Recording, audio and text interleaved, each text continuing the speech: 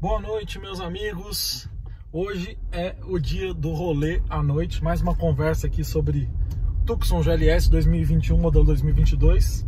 Estamos com quase 3.700 quilômetros. Já rodamos bastante, pegamos trânsito pesado aqui e já vamos começar falando que o consumo médio se mantém em bons 8,7 km por litro, mesmo usando é, ar-condicionado na maior parte do tempo, trânsito pesado. E vamos falar um pouquinho do comportamento do carro e do visual aqui do cockpit dele à noite, como é que ele, como é que é o visual dele, como é que ele se comporta, como é que é a iluminação dos faróis. E aí o próximo vídeo, salvo o melhor juízo, será o vídeo da, do consumo rodoviário com gasolina, que é o único combustível aqui desse carro. Mas estou gostando bastante do carro, as impressões estão boas. É, é aquilo que eu falo, quem tem o Tucson aí, por favor, com o New Tucson, né? Comenta sobre o carro, fala dos problemas que teve, se o carro não deu problema nenhum, se o carro é muito bom, muito ruim. É sempre bom ter essa opinião de quem é, tem o carro há bastante tempo ou quem usou o carro há bastante tempo, né? Eu tô aqui no começo ainda do teste, mas muitas águas ainda vão rolar. Vamos nessa, pessoal. Acompanha comigo aqui, por favor. Bom, deixei aqui o banco numa posição bem baixa. Ó, essa rua aqui é cheia de buracos, ó. Você escuta aqui um pouquinho de de barulho talvez no, vindo ali dos bancos de trás, mas nada demais assim, perto do, do dos barulhos que apresentaram o T-Cross aqui, o Tracker.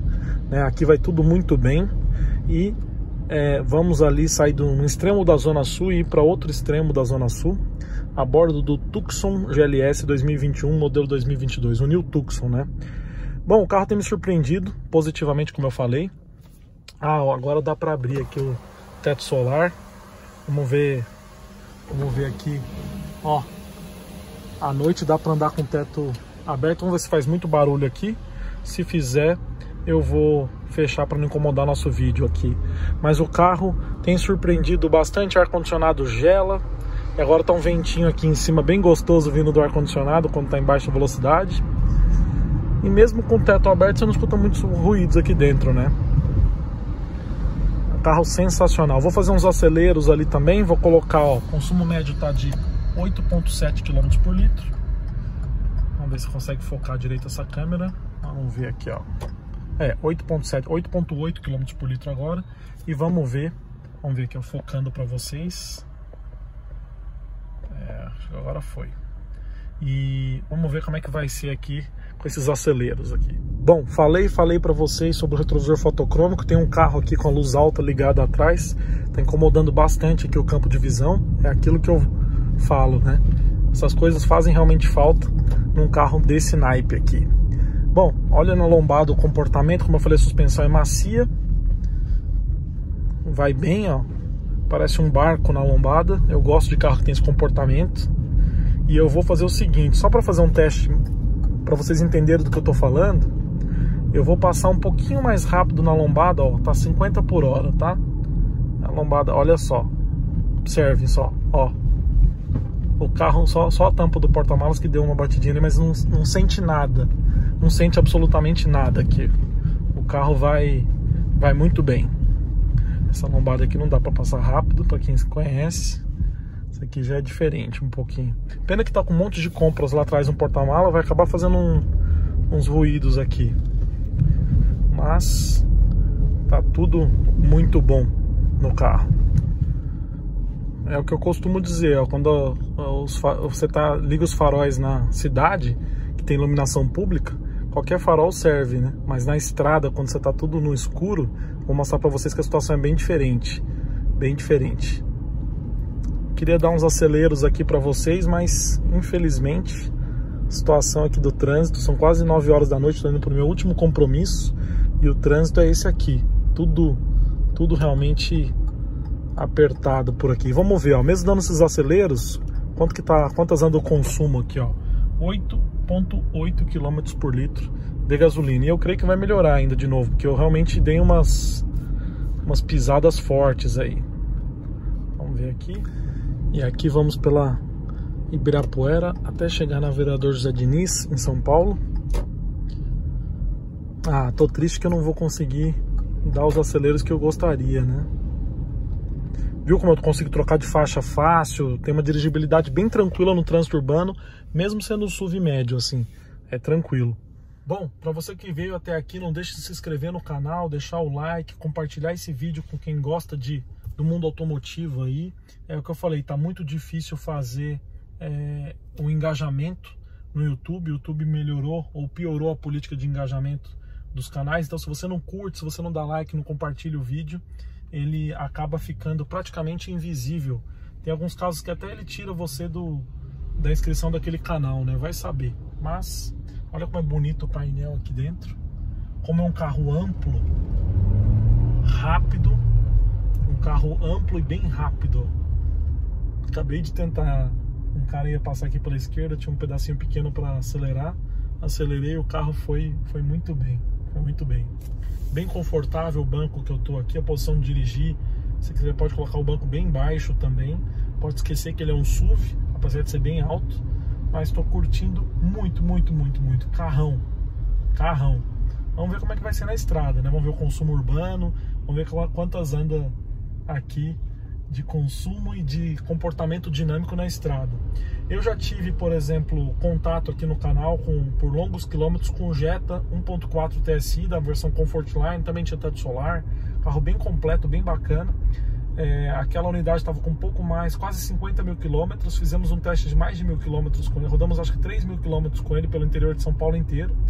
E o carro na cidade tinha um comportamento, ele era barulhento, desconfortável para andar na cidade, meio duro, suspensão rígida. Na estrada parecia outro carro. Outro carro, um carro confortável, silencioso tal, muito gostoso de andar, veloz. E aqui Vamos ver se vai se repetir essa mesma questão aqui do carro ser bom na cidade né, e ser igualmente bom na estrada. Vamos ver como é que vai ser. Se não tem um balanço excessivo da carroceria, geralmente SUV perde um pouco de comportamento dinâmico na estrada. Agora a referência para mim de SUVs passou a ser o Tigo 8 desde quando ele passou aqui pelo canal. Para você que está chegando agora, acessa aí a playlist completa do Tigo, você vai ver o teste que fizemos aqui. É, é, fazemos os, te os testes por milhares de quilômetros, e eu deixo uma playlist completa com diversos capítulos ali de consumo urbano, consumo rodoviário, né, consumo com gasolina e álcool, nesse caso aqui só tem gasolina e tal, mas eu faço um teste bem completo de comportamento dinâmico, de do freio, suspensão, direção e tento passar o máximo possível dentro da realidade de vivência com o carro. Um outro ponto aqui favorável no carro é justamente é, ele ser um carro bem arejado. Então as janelas laterais são grandes, o vidro, o para-brisa dianteiro também é igualmente grande, é um carro bem ó, arejado tal. Então você fica longe do painel se você quiser também.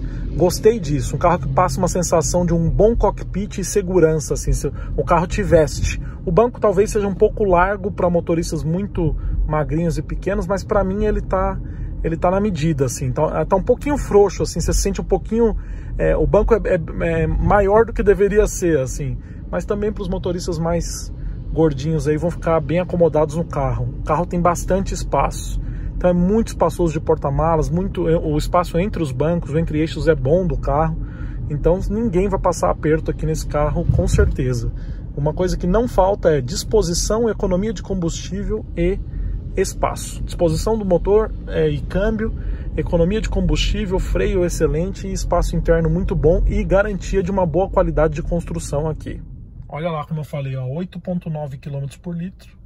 Painel aparenta ser simples, pessoal, pelo vídeo, mas aqui dentro tudo, vou até abaixar mais uma vez o banco, aqui ó, a sensação de conforto é muito bonita e boa. Olha como é bonito o painel aqui né, tudo iluminado, painel, os, os, comandos no painel, comandos do vidro todos iluminados, comando do espelho elétrico também é iluminado aqui. Console central não tem luz, não tem luz também ali na, na, na área dos carpetes, não tem guias de LED, que talvez tenham, faltaram também nesse carro, mas ele chama atenção por uma boa condução, um bom estilo de direção aqui. O ar-condicionado tem saída para o banco de trás, está na posição 20 graus é, no, no, dois lados aqui e o carro está congelado. Congelado, mesmo está fraquinho o ar aqui e o carro está trincando, assim que eu gosto. Pouco vento e bem frio. Carro ar-condicionado sensacional. Faróis com regulagem de altura por comando manual aqui, né? Então vou mostrar lá para vocês no carro branco. Observem lá na espinha, ó, farol abaixando a posição dele. Tem um bom ângulo aqui de ataque Tem várias posições aqui para ficar, ó. pode ficar na posição 0 ou na posição 3. E isso ajuda bastante na cidade, porque eu gosto de deixar na posição mais baixa para não incomodar ninguém que venha no sentido contrário. Na estrada você precisa de um ângulo maior de ataque ali do farol, aqui não. Aqui na cidade a situação muda de figura. Deixar o farol na posição normal só incomoda os outros e não acaba não adiantando nada na iluminação, né? Meus amigos, esse foi o vídeo de hoje. Espero que vocês tenham gostado. Não deixe de se inscrever no canal, deixar o like aí para ajudar e fortalecer. Até nosso próximo capítulo. Fui!